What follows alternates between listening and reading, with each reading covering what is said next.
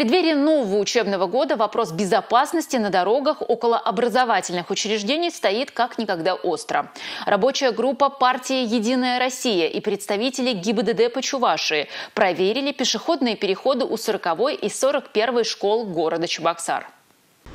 Главная задача взрослых – обеспечить безопасность передвижения детей до школы и обратно. Ежегодно проводится инспектирование и проверка пешеходных переходов на их соответствие стандартам безопасности. В первую очередь проверяют наличие дорожных знаков, правильность нанесения разметок, наличие искусственной неровности и насколько правильно установлено освещение. В региональном отделении партии «Единая Россия» традиционно перед началом учебного года создается рабочая группа по мониторингу безопасности пешеходных переходов в социально значимых объектах на территории Чувашской Республики.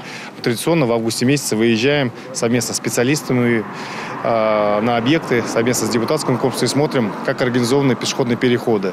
Обустройство пешеходных переходов – это важная часть работ. Обеспечение пешеходов специальными светофорами позволяет предупредить водителя заранее не только знаком, но и мигающим сигналом. С 2014 года действует на новый стандарт по обустройству пешеходных переходов вблизи образовательных учреждений. А, с 2014 года по настоящее время все пешеходные переходы города приведены в соответствие. Осталось одно мероприятие – это обустройство светофор, светофорным объектами Т7. Это желтый мигающий сигнал, а, желтый мигающий сигнал, а, обозначающий границу пешеходного перехода для а, дополнительного оповещения водителей, что вблизи пешеходный переход. Ограничение скорости на таких участках 40 км в час. Снизить ДТП еще поможет внимательность и ответственность каждого из участников дорожного движения. Дамир Хантимиров, Юрий Марков, Республика.